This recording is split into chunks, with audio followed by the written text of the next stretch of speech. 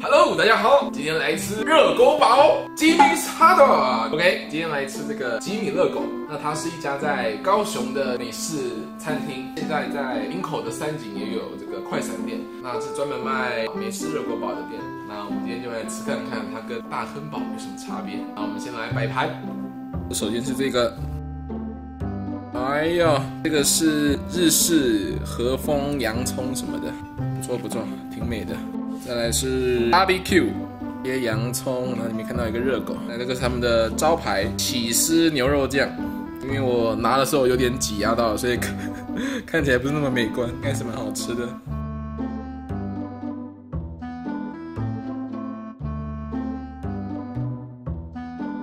Nice，好的，以上就是这一次的吉米热狗，吉米 hot dog，嗯，起司牛肉酱，日式和风 barbecue 酱，那我们就开始吧。先吃我们的起司牛肉酱口味，看起来 有点混乱，因为我是外带，它包起来就有点压到。你买完直接吃的话应该比较好。他们说他们是美墨牛肉酱，还有这个德式香肠，牛肉酱的味道我觉得很棒，不会说太浓，吃起来很舒服。香肠的口感不会说还蛮脆的，不会说太软，毕竟是德式香肠。面包的部分看起来是蛮普通的，牛肉酱的用量还蛮多的。大家看一下我的嗯切面，肉酱味道不错，有点像意大利肉酱面那种肉酱，还有点淡淡的咖喱味，这个我喜欢，挺香的。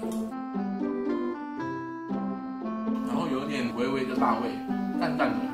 它做完它可以让你自己加洋葱或是酸菜，或者是那个腌黄瓜，洋葱的口感还蛮明显的，很脆很脆。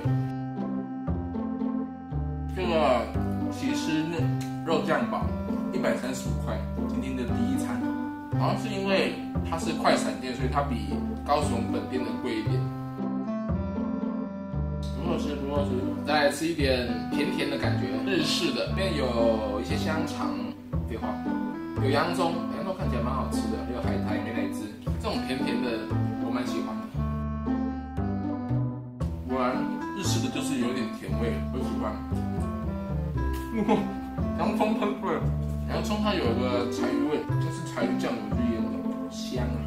它还有分手工香肠跟德式香肠，手工香肠比较贵，然后比较长，然后我是买德式的，面包好像比一般的大汉堡大一点，它面包都是有放在烤盘上烤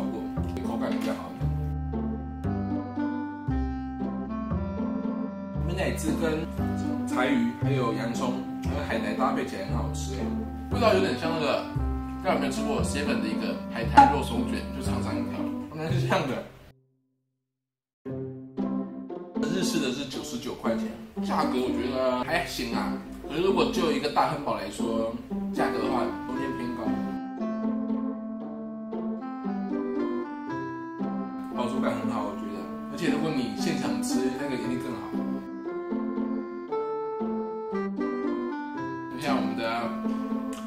BBQ。烤肉酱的 B B Q 的看起来稍显普通，像只有淋酱，还有丢一些洋葱进去而已。可以感受到那个有点酸酸甜甜的烤肉酱，这个洋葱比较多一点，闻起来有点像那个平价牛排的那个牛排酱，这还不错。小黄瓜、酸菜那些什么都可以自己任你加。就只有在高雄有一个本店，然后林口奥莱有那个快闪店，台北好像还没有。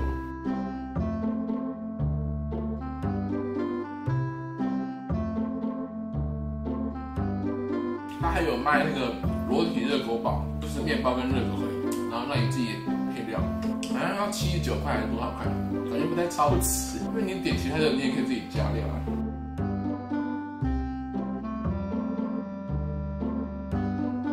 一口，呃，完食。总体而言，味道绝对是不错的，特别是它那个起司牛肉酱，有点辣辣的，又有点咖喱味，再加上起司这样融合在一起，太棒了。那日式和风洋葱是这样吗？它名字有点太长，我记不太清楚。比较偏有点甜甜的，然后洋葱搭配海苔跟美乃滋，口感就是很清，那 B B Q 的话，对我来说啦，我没有说特别喜欢，是有点普通，就是咸咸甜甜，That's it。那它价位基本上都是差不多一百五十块以内啦，最贵的好像一百一百四十几块。好了，那基本上有什么要提的吗？嗯，那它是快闪店，在高雄跟林口家有。那如果大家要查的话，可以去 Facebook 查吉米 Hot Dogs Club。好了，以上就是这一次的吉米热狗，吉米 Hot Dog 美式热狗堡的一个品尝，谢谢大家。